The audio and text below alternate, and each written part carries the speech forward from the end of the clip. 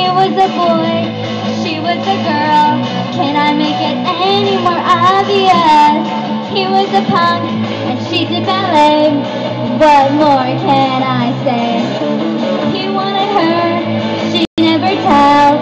Secretly she wanted him as well.